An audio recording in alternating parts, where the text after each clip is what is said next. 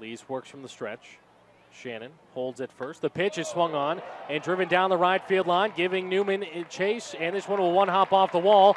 Wilkerson turning third, heading for home. The throw will be late. It'll be an RBI double for Blake Swihart, and the Dogs lead it five to one here in the fourth.